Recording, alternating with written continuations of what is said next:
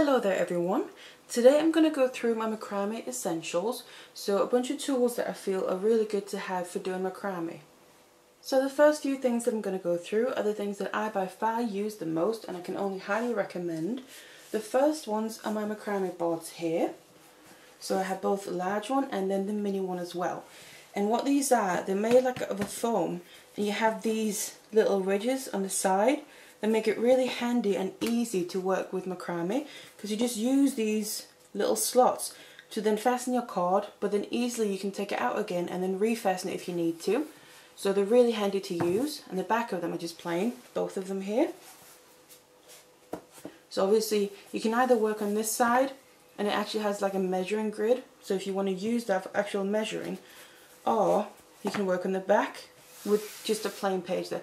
I prefer to normally work on the back because I just measure mine as I go with an actual measuring tape. I don't really like how busy this is, but that's completely personal preference. But I really use these a lot and I can't recommend macrame boards highly enough. And it's really handy I find having both sizes as well. And then the next one is also a macrame board and it's this one and it's a bit different than the ones that I just showed you. The ones that I just showed you are the ones I mainly use for regular macrame. This one I use pretty much always when I do micro macrame and it looks like this. So this is one side of it and the other side looks like that so it's got this kind of paper part to it. Again you have some measurements along the edges which can be quite handy. Again if you prefer to work on this side you can do that. And down here you actually have some other information as well, both some basic knots actually but then also say some different bead sizes and some other measurements as well. So that's quite handy. Personally I always work on this side though. Again just because it's less busy and I find it a bit more easy to deal with. But what this is and the difference between the previous ones and this this is actually more like a cork board of some sort. So you can see it's much harder where the other ones were more like foam of a type, like memory foam. This is actually more like cork. And the reason that I use this mainly for macrame and I really like to use this in general as well is because this is the one that I use when I'm using pins in my work. And when I'm talking about pins, I mean these pins here. I just keep them in this container. And these are T-pins.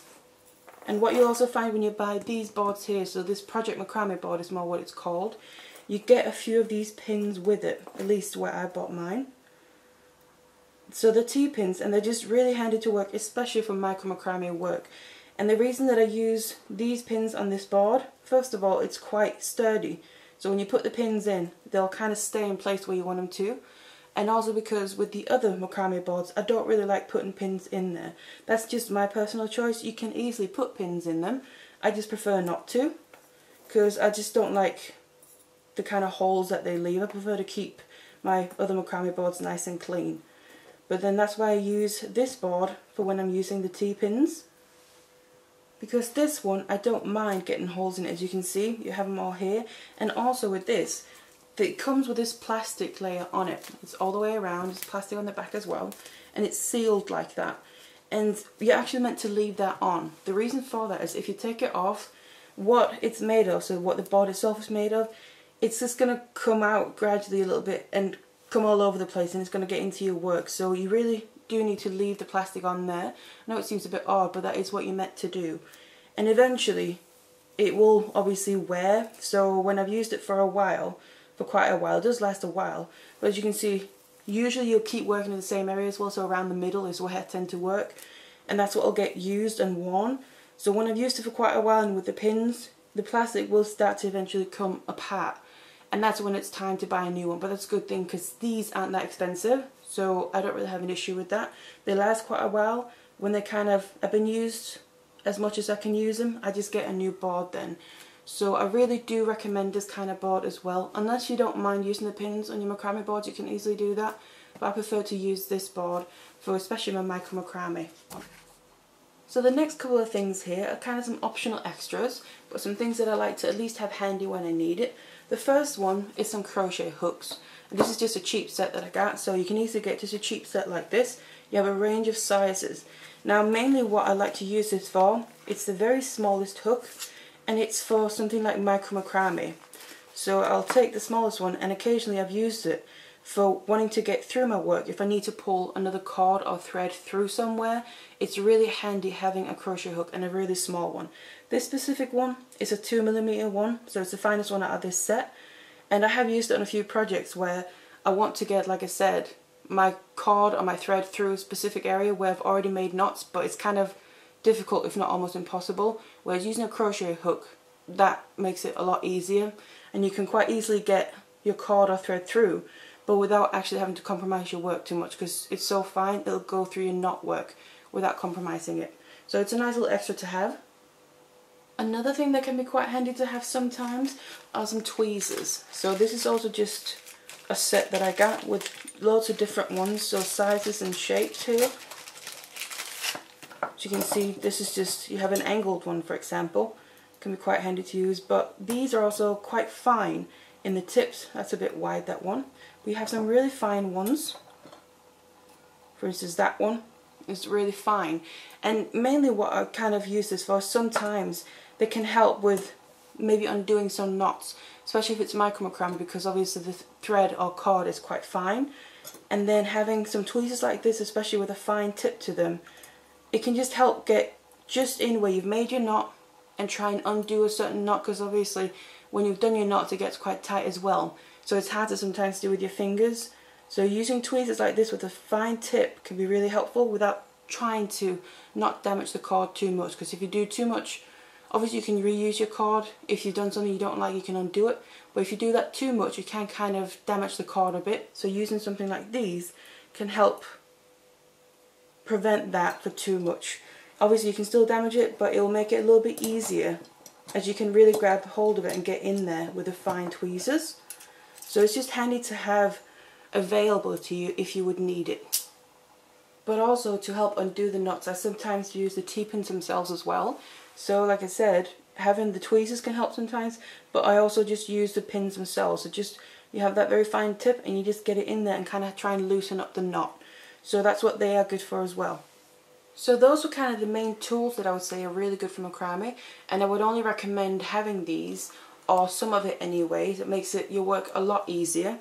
The last thing that I just want to show you as well that I find are quite essential are some ways to finish off your work after you've made it. Now obviously there's quite a few ways to finish off your work but some of my favourite ways is to use some professional endings and by that I mean some kind of pre-made endings that I then finish off my work with rather than say use macrame to finish it off. I do that as well, it kind of depends on my project what I prefer. But I have these here, these are cord ends and that's what they look like. And then also ribbon ends. So these two I do really like using to finish off a macrame quite regular. I think it gives a really nice professional finish. So the cord ends here that's these ones they look like this where it's kind of from the side a little U or from the bottom rather and what you're supposed to do is then place the ending of whatever you have in there and you squeeze down the end and secure it in place now you can also add a bit of glue and then on the top you have this loop that you then use to add your findings so your clasp with jump rings and that. So that is if you have more of a smaller end that'll fit inside of there and then if you have more of a wide say a bracelet, a wider bracelet then I like to use these ribbon ends. So these are just a few examples. They come in loads of different sizes so you can get them specifically to match your project. So if you have a narrow one or one wider one. So they come in loads of different sizes and what these are is kind of from the side, it's almost like a crocodile mouth. And you have these little teeth at the end. And then what you're meant to do is put it on the end of your piece and then clamp it down. Again, you can also add a bit of glue. And then the teeth will grab on to your piece as well. And then right at the top you have that loop. That's again meant to then add your findings with a jump ring in that. So I find these ways to be really nice and professional to finish off your pieces. Now this is just one option obviously, or two rather, I use other ways as well, but I use by far these ones definitely the most and I find they give a really nice and professional finish. So these were then some of my macrame essentials that I really like to have and I only highly recommend if you want to get into your macrame work or you already are doing it. So obviously none of these you absolutely have to have to do macrame, not at all. There's plenty other ways you can do it. It just makes life so much easier and I also feel it helps give a much more professional finish to your pieces. So it's just my recommendations here. Now what I'm going to do as well is if you want to have a look for some of these pieces, and you're not quite sure where you can get it, then I'm going to put a link or a few links down the description box below to where you can get some of these pieces as well or have a bit of a closer look at them. But otherwise, I really hope that this was helpful for you and maybe gave you some ideas for things that can help you to move on with your work. And thank you very much for watching. Hello everyone. Today I want to show you how to make these macrame bracelets. And these are the beaded version of my intertwining herringbone macrame bracelet that I did last year. And they look like this. So I've just made these two examples. So it's the exact same technique, as you can see, but because of the different just cord that I've used here, you get two very different looks. And even the beads are the same ones as well. So I've used a white satin cord and then a black one, because I thought that would be a nice neutral background colour for the silver